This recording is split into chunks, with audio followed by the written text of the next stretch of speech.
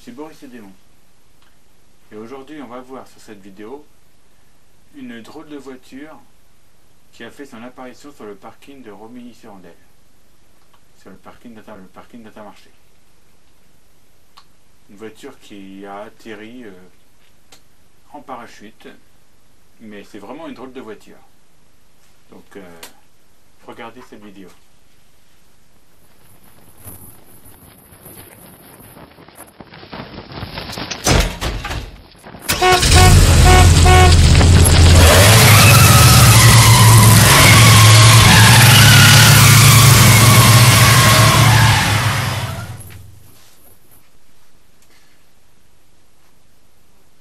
J'espère que cette vidéo vous a plu. N'hésitez pas à vous abonner si c'est le cas. Allez.